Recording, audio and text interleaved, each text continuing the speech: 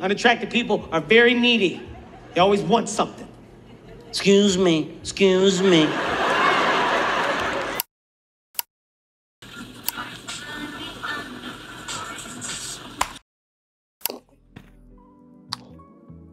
We already rolling?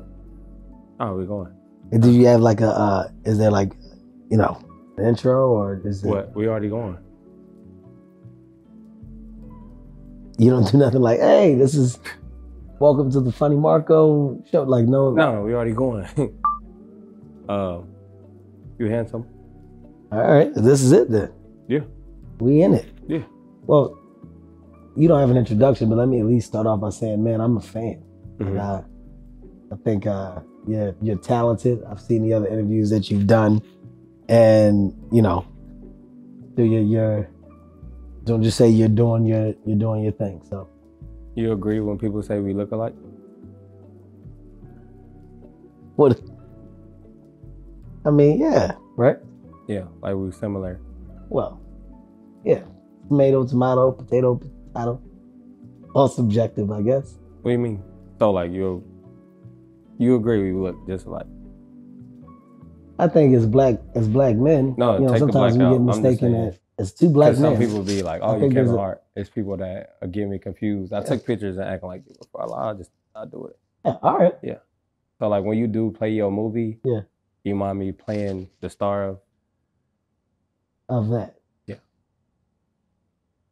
I don't know. I don't understand.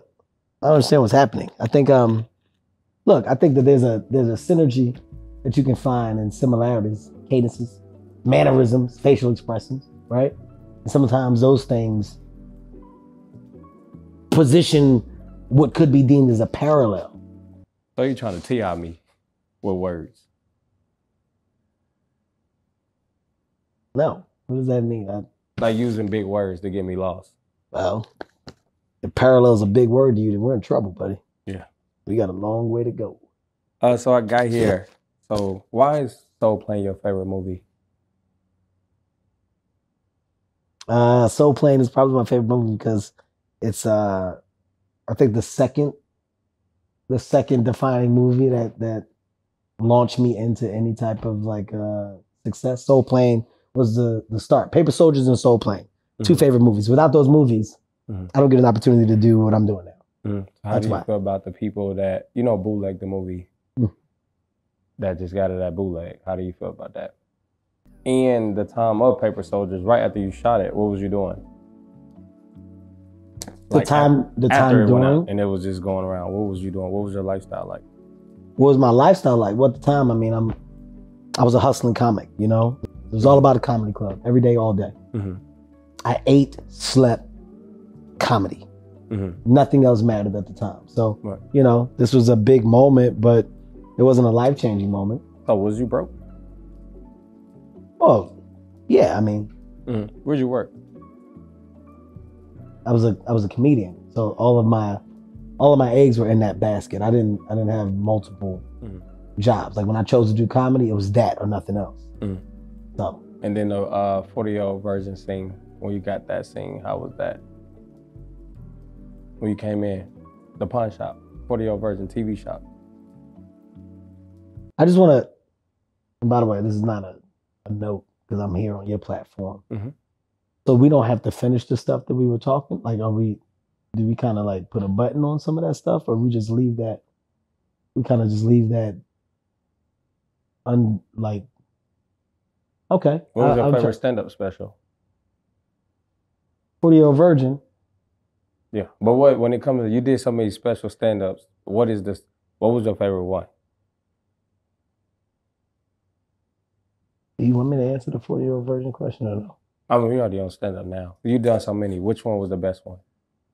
Uh, in my opinion, I'm gonna say. Seriously funny. hmm Why?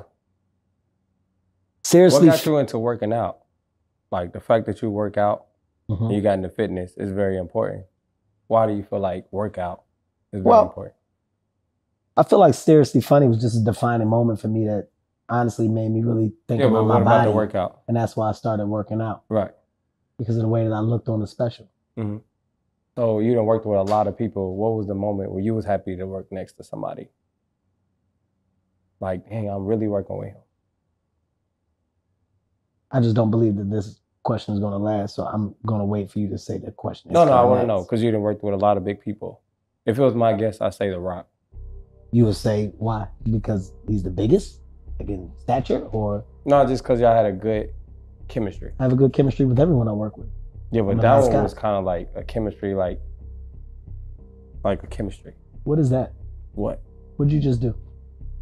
Yeah, what's that? Like, like, fuck with me. Oh, that's your thing. Yeah. Oh. Yeah. Got it. Um, I would say, you got to be honest with you, man. Me and The Rock, really close. Um, me and Ice Cube, We're a great relationship. We're far. Me, well, what? We're far.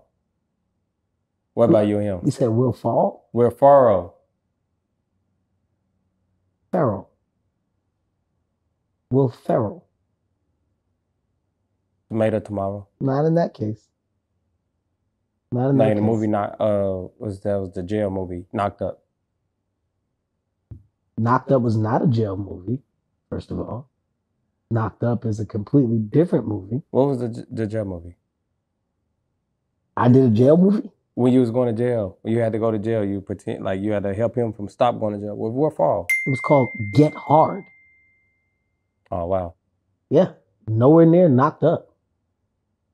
Like what type of are we doing research or we just kind of No, no, no. I got that was me. I can say that was. I. It's so many movies you got. That's Yeah. a good thing. yeah. Yeah. Sometimes you forget your movies. Like, oh damn, I did that. Right. No, no, I kinda I kinda know them all.